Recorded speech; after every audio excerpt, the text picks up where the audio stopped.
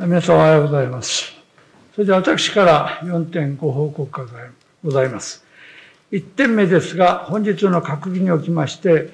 農業経営基盤強化促進法の法等の一部を改正する法律案、及び、え農産漁村の活性化のための定住と及び地域間交流の促進に関する法律の一部を改正する法律案が閣議決定されました。これらの2案は、地域の農業者等による話し合いを踏まえ、将来の農業の在り方等を定めた地域計画の策定や、地域計画の達成に向けた農地の集約化等の推進、農用地の保全等の取り組みへの支援等の措置を講ずるものであります。これらの法律案によりまして、農地の集約化等を進め、生産の効率化等を通じた農業の成長産業化を図るとともに、農産漁村の活性化を図りたい、図ってまいりたいと考えております。2点目ですが、ウクライナ情勢に関する相談窓口の設置についてです。ロシアやウクライナとの農林水産物の食品の貿易など、我が国の農林水産業や食料供給への影響を不安視する声が高まってきていると承知しています。このため農林水産省では本日農林水産業や食品関連産業等の事業者に向けまして、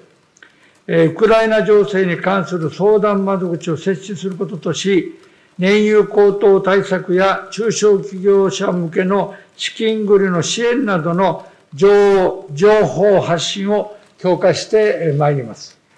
3点目ですが、9日に消費者庁と共催で、日経 SDGs フォーラム消費者競争シンポジウムを行います。え午前の部は緑の食料システム戦略にある持続可能な生産消費をテーマに、えサステナワード農林水産大臣賞、消費者長官賞の受賞者が講演するとともに、持続可能な取り組みを行う企業の代表らによるパネルディスカッションを行います。えー、消費者だけではなく、企業の皆様にも響くような議論を行うことで、さらなる取り組みの拡大と目指す、拡大を目指すとともに、今後も消費者庁と連携し、持続可能な消費の拡大に取り組んでまいります。4点目ですが、ホワイトデーにおける花送りです。3月14日はホワイトデーです。柿業界ではフラワーバレンタインに続きまして、ホワイトデー、ホワイトデーに花送りの取り組みを展開しており、農林水産省といたしましても、業界の取り組みを応援しているところであります。今年のバレンタインでは、花の購入価格が前年度の1.5倍になった展望もあるとのことであります。えー、こうした取り組みにより、花がより身近なものとなり、需要の拡大につながることを期待しています。本日は私から以上です。感謝どうぞ。幹事社の NHK 為替です。2点お願いいたします。はいまず1点目ですが、あの、大臣昨日、あの、次回の参議院選挙へ出馬しないということを表明されましたが、この決断への思いなどをお聞かせください。あまあ、私は、あの、かねてからね、えー、引き時っていうのを考えてました。で、昨年の公認の時にもね、えー、随分迷いましたが、その後、衆議院選挙とか知事選挙等が控えてましたんで、まあ、いろいろなことを考えた中でですね、まあ、あえて公認申請を出して公認を受けました。その後、それぞれの選挙等は終わりましたし、えー、いつタイミング的に退任を表明するかということを考えておる中でですね、えー、来週は党大会がありますんで、まあ、結局、先週がですね、えー、まあ、今週の月曜ですか、まあ、タムリットかなという考えて退任をいたしました。で、かねてから、えー、まあ、年齢も今度立候補するときには78になります。えー、まあ確かに、まあ元気です。しかし、参議院というのは6年間という非常に長いです。やっぱり将来、もしも途中で辞めるようなことがあったときにはね、県民とか国民に対しても大変申し訳ない。やっぱここはもう時期的に辞める時期じゃないかなということと、やっぱり若い方に譲りたい。特に県政も若返りましたから、若い新しいフレッシュな、そうした意欲ある人をですね、えー、新しい政治家、国会議員として育てていくのも、私たちの役目であるというふうに思いまして、今回退任することにいたしました。ただやっぱり一つは、農林水産大臣という現職にありますんで、業務に支障があってはならないということで、これだけは非常に大変心配いたしました。まあ、しかし、えー、皆さん方のご協力で、これからもですね、務めさせていただいて、法案等がありますので、これをちゃんと処理したいというふうに思っております。ありがとうございます。2点目ですが、あの、ロシアのウクライナへの侵攻などの影響を受けて、小麦の価格があの14年ぶりの高値になるなど高騰していますが、改めてこうした価格高騰対策についての検討状況など教えてください。はい、あの、まあ、いつも話しているように、ロシアとウクライナからには小麦の輸入はですね、ありませんので、直接は影響はあってませんが、ただやっぱり小麦の国際相場は、やっぱり今回のロシアのウクライナ侵略を受けてですね、大変高い水準で、もう13ドルをオーバーしてますんでね、そういう状況にあるんで、今後はやっぱりこの小麦の需給と価格の動向を注視していかなきゃいけないかと言って思っております。で、総理、まあそういうことで、価格の動向を注視しながらですね、これからも、まあ、えー、対策といってもなかなか難しいところがありますが、一応あの、農林水産庁としては、えー、やっぱり業界の皆さん方に、えー、その状況等をですね、えー、よくお知らせして、そして今後対応していかなきゃいかんというふうに思っております。幹事社から以上です。各社さんお願いします。はい、どうぞ。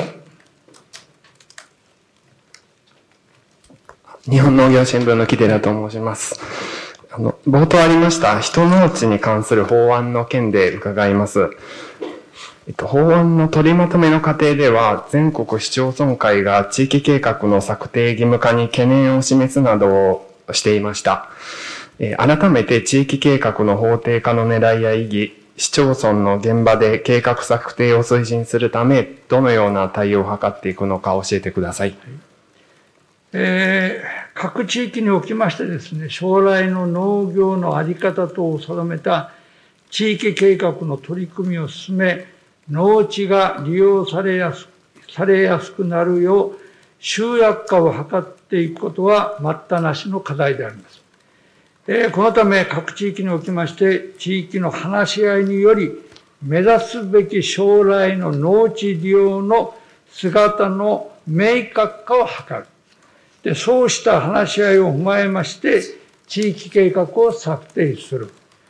で、これに基づき農地バンクを活用した農地の集約化を進める。などの取り組みを今後促進していきたいと考えています。えー、全国市長会との話につきましては、全国市長会のご懸念につきましては、市長会に対し、当初の考え考え方等を説明して理解を得たところであり、引き続き、え、現場に丁寧に説明を行ってまいりたいと考えています。以上です。はい、どうぞ。朝日新聞社五郎丸と申します。はい、あの、先ほどの、あの、小麦の価格高騰の関係でちょっと補足でお尋ねします。ええ、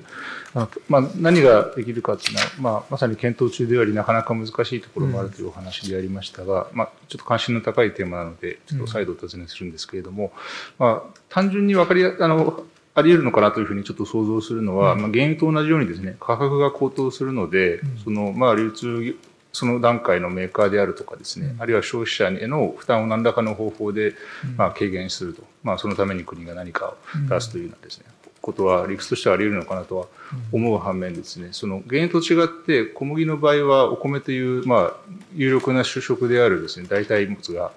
ありますし、お米につ、お米は、まあ、あの、ずっと余余り気味でですね、まあ、値段も下がっていて、で農水省としても、まあ、日頃ですね、その消費喚起ということで力を入れてこられてると思うんですけども、そういった状況を踏まえて、その小麦のですね、価格高騰の、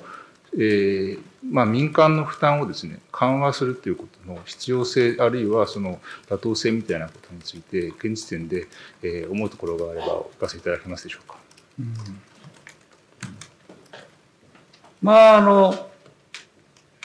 五丸さんがお話ししていることはよくわかるんですが、あの、小麦の成分売り売り渡し価格っていうのは年2回やってるんですね。で、近いうちに、えー、春の価格が決定します。今、最終調整中ですね。で、問題はですね、小麦酒っていうわけにいかないでしょう。大豆もあり、トウモロコシもありいろいろですね、そういったもろもろのことを考えていきますとですね、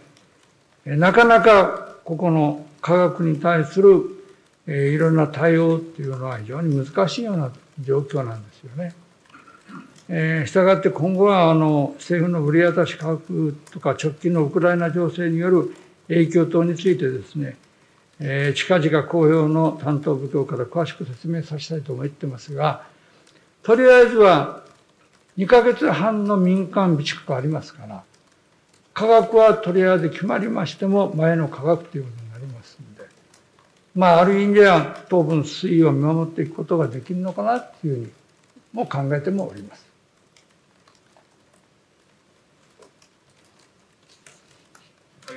はい。どうぞ。